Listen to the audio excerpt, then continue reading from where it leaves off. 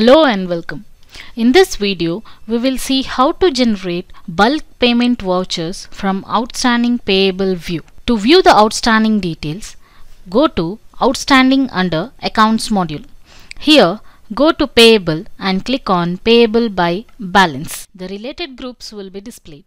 Select the required groups or select all and click on OK. Party by party outstanding details will be displayed. The view of outstanding can be changed under view option or you can know the outstanding on a particular day. The records displayed will be shown with the due amount and the due duration. Select the outstanding records to be considered for bulk payment and click on spacebar on the keyboard. The record will be added for the bulk payment voucher screen. On selecting all the records, click on Show option in this, select on bulk payment. The bulk payment voucher with the record selected and the due amount against each party will be displayed. Enter the salesperson name if required. Next, select the payment voucher format from the drop-down. After the payment voucher format, select the ledger from which the payment will be made, that is cash or the bank ledger, and then enter the date of payment. Now go to the individual records and click on three dotted button next to the amount.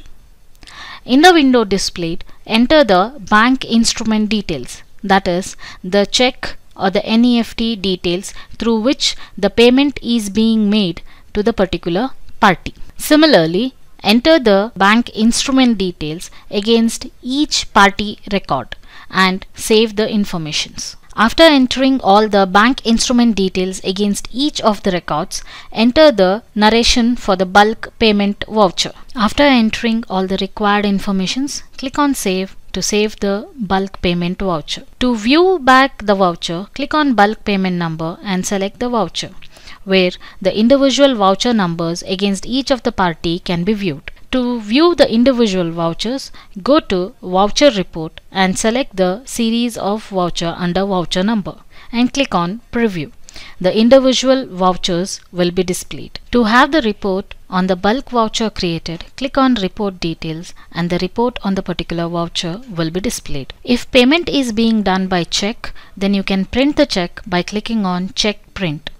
Here, select the checks which has to be printed and click on Preview.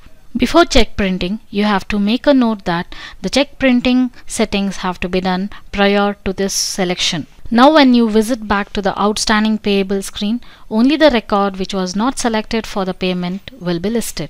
In this way, the outstanding payable can be paid via the bulk voucher. If you have any questions, ask them in the comment section below and make sure you are subscribed to our YouTube channel for more such videos. Thank you.